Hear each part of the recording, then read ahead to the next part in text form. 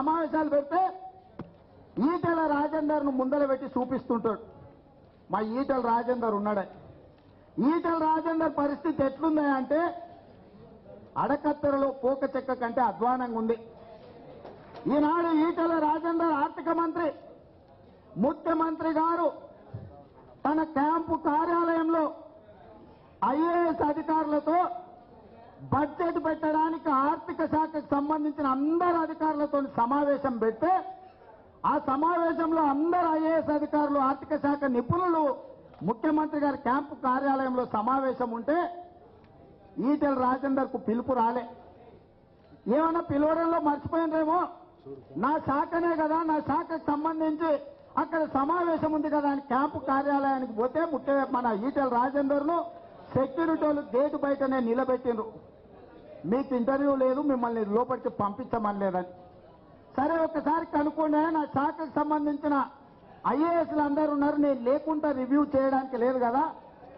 నన్ను కూడా సమావేశానికి ముఖ్యమంత్రి గారు ఖచ్చితంగా అనుమతి ఇస్తారు మీరు ఒకసారి కనుక్కోండి అంటే గంట సేపు గేటు బయటన కారులో ఈటల రాజేందర్ను కూర్చోబెట్టి గంట తర్వాత నిన్ను పిలవలేదు నిన్ను అవసరం ఉంటే మళ్ళీ పిలుస్తావు నిన్ను ఇంటికి పొమ్మంటే ఎవరికి చెప్పుకోవాలనో దిక్కు తెలవక ఏడ్చుకుంటే ఈటల రాజేందర్ ఇంటికి పోయిండు.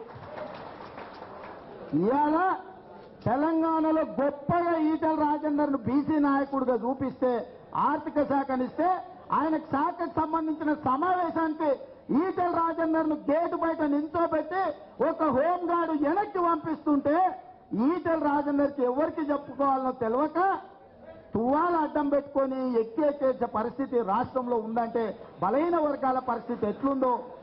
ఈటల రాజేందర్ లాంటి వాళ్ళు బయటకు వస్తే గొప్ప గొప్ప మాటలు చెప్పేటోళ్ళు ఎంత బానిసలుగా కేసీఆర్ కాళ్ళ దగ్గర బతుకుతుండ్రో? ఒక్కసారి ఆలోచన చేయండి.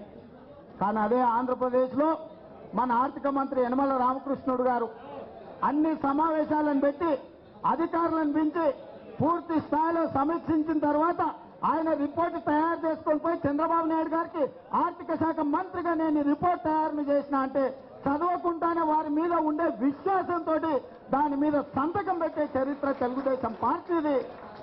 మన నాయకుడు నారా చంద్రబాబు నాయుడు. ఈ ఉదాహరణ ఎందుకు చెప్తున్నా అంటే పరిపాలనలో తెలుగుదేశం పార్టీలో బలహీన వర్గాలకు ఇచ్చే ప్రాధాన్యత ఎలాంటిదో తెలవడం కోసమే ఈ సందర్భంగా మిత్రులందరూ తెలియజేస్తున్నా.